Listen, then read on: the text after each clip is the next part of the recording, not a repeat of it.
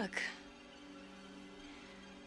Honey, you wouldn't hurt me, would you, sweetheart?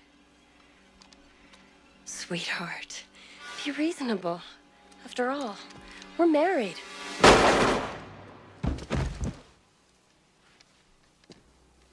Consider that a divorce.